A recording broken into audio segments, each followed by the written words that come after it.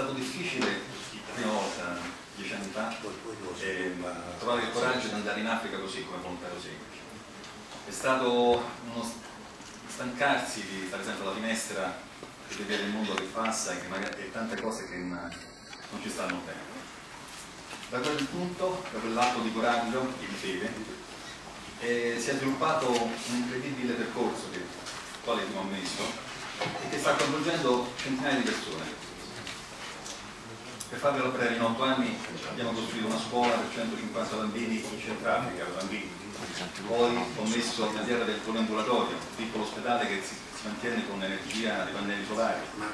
Per cinque anni stiamo mantenendo i 14 persone che lavorano lì, tutti centroafricani, dal medico alla portantino, al quale la portantina prende 50 euro e mantiene 11 figli. Insomma, è un'idea quella di adottare il personale giù, che forse è abbastanza innovativa. Pensate quanto spendiamo il governo italiano, quanto spendono gli, gli immigrati eh, che dall'Africa vengono da noi. Quanto invece con 100 euro posso dare uno stipendio e farli mettere sulla loro terra e guardare i loro ragazzi, i loro figli che crescono.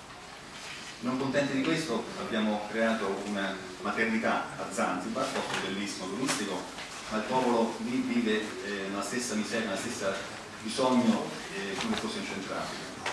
In un anno abbiamo costruito questa maternità e adesso a giugno ci sarà anche l'anestesista, eh, che ha fatto il corso, per poter cominciare a fare i parti cesari. Pensate che un bambino ogni quattro muore il fatto cesareo non può espletare. Abbiamo anche regalato un'ambulanza per i villaggi vicini per portare subito in ospedale.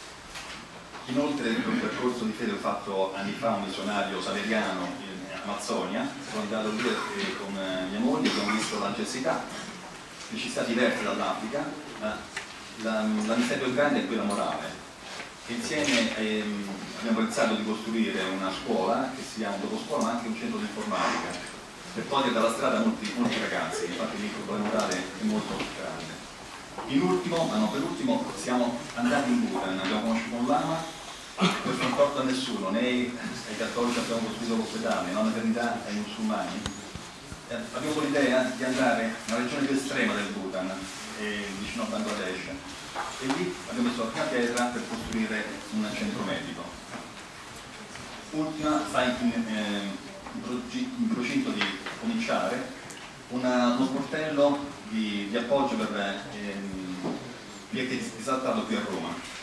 Ehm, ci sono delle scuole con soccorso, ci hanno messo a disposizione un ambulatorio e lì andremo, per chi non può andare in paesi lontani, e tutti i volontari che vogliono sporcarsi le mani possono andare lì e dare una mano ai disadattati, dalla, dagli ex detenuti alle ragazze madri, ai homeless, eccetera, eccetera.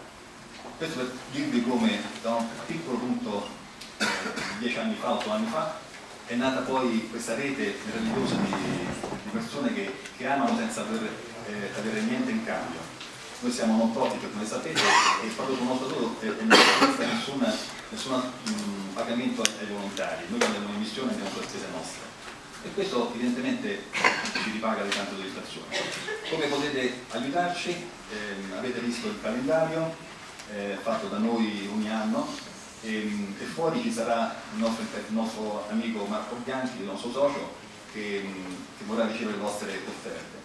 In più c'è il 5 per 1000 per il codice fiscale ed ultimo abbiamo fatto un libro bellissimo sul Bhutan, un libro fotografico che ho donato eh, a Claudio tempo fa e um, sul Bhutan c'è stato pochissimo, è un, discorso anche culturale e un'offerta e potete portarlo a casa perché sono veramente molto rari. Io vi ringrazio, grazie per l'opportunità.